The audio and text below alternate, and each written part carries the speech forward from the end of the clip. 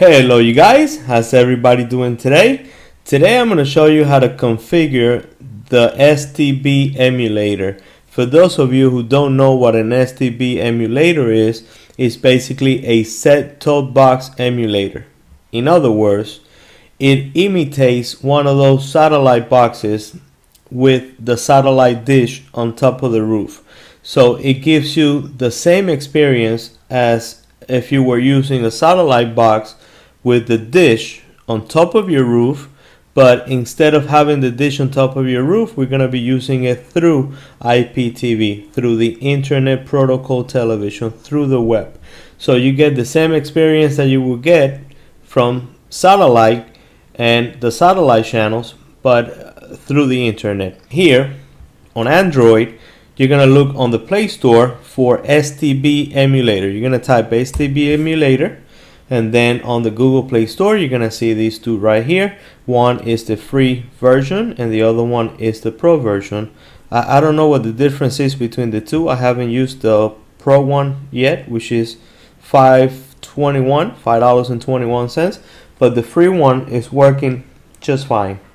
And and it basically I think it does the same. I don't know. You guys if you ever buy this one or anybody who has ever bought this one would tell me if there's really something different and and you know among the two. All right so you click on the free one and then you click on install. And then you install it just like you would install any other application from the Play Store on Android. You wait for it to uh, finish the installation process and then what we do is we're gonna open the application. Okay, let's go ahead and open it.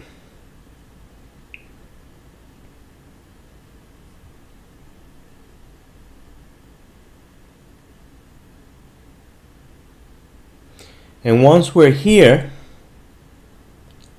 what is the channels that are charging right now, the service that is charging is a demo account, uh, a demo service, but we're gonna edit that demo service and we have we're gonna edit it and, and we're gonna have all of the channels the 840 channels that IPTV Stalker has right now we're gonna have them working here um, on this STB emulator. Alright let's just give it a second there to finish what it's doing. And basically here you can go uh, to entertainment, children, cinema, science, sports, and all of those sections. You can go to all, but again, you only have the channels here that they give you with the demo version, which is like 12 channels. So we want to have all of the channels working. For that, we're going to go to the settings. How do you access the setting? Right here on the top right hand corner. And we're going to go to settings and here is where the magic happens. Here we have to click where it says profiles and you're gonna see the demo portal already pre-installed right? But it only has 12 channels like I show you so we want to have all of the channels. So you're gonna click on that same portal. One of the mistakes that a lot of people make is deleting this portal and adding a portal which you can do but why delete it if you have already most of the information already in here for you? All you have to do is tweak a couple of numbers and you're good to go. So we're going to use the same portal, the same demo portal that they're giving us and we're going to alter the numbers a little bit in order to make it work for us. Okay, so you click it. Here you can change the name. If you don't like it to be demo portal, then let's change it to something else. For example, whatever you want it to be. Solo Man, okay, just to name it anything. And then on the STB model, it has to be the MAG 250. That's the one we're emulating. And the MAG 250 is usually, if not 100% of the time, already pre-selected by default. So we're gonna leave that as it is. Right, then we're gonna portal settings. And here, you're gonna have this address right here from IPTV Stalker. We're gonna take that off and we're gonna put 11 that private I'm sorry Eleven dot IPTV private server dot TV. All right, 11 dot IPTV private server dot TV. You're gonna click OK, and that's all you're gonna do in this section. We're gonna go back, and we're gonna go to the MAC address.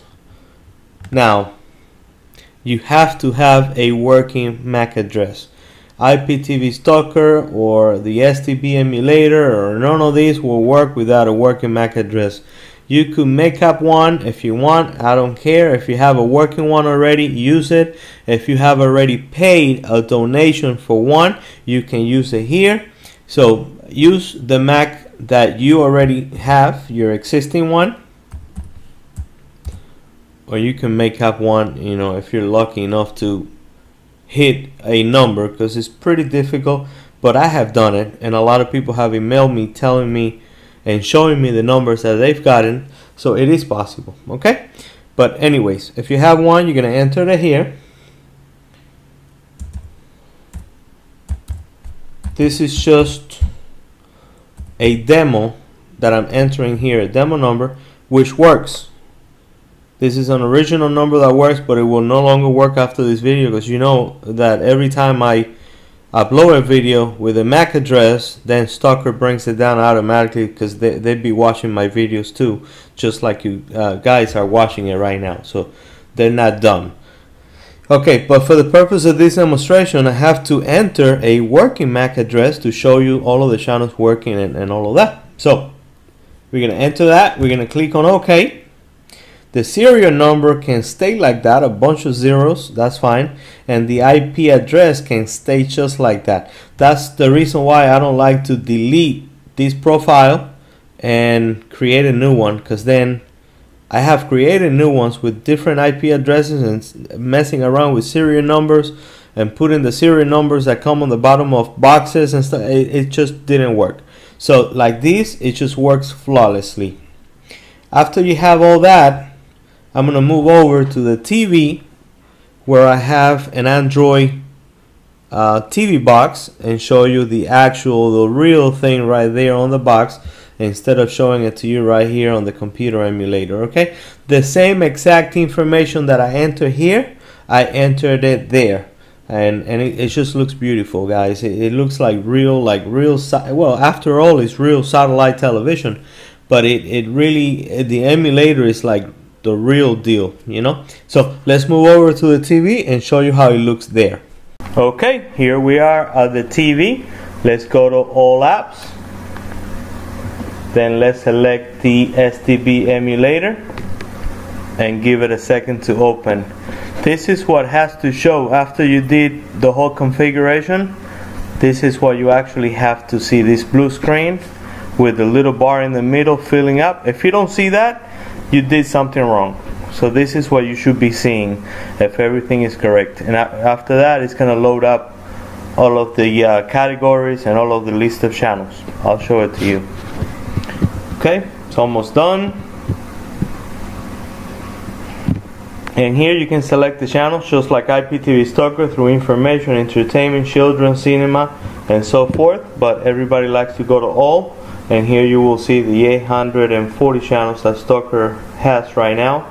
Uh, they added some channels by the way. They had like 700 and some and now they have many many more.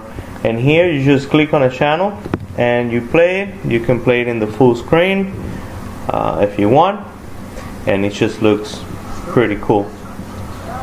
Alrighty. There you have it. Let me play another channel for you and this is basically the emulator. This is how it works. If you have any comments if you have anything to say please leave it on the comment section below.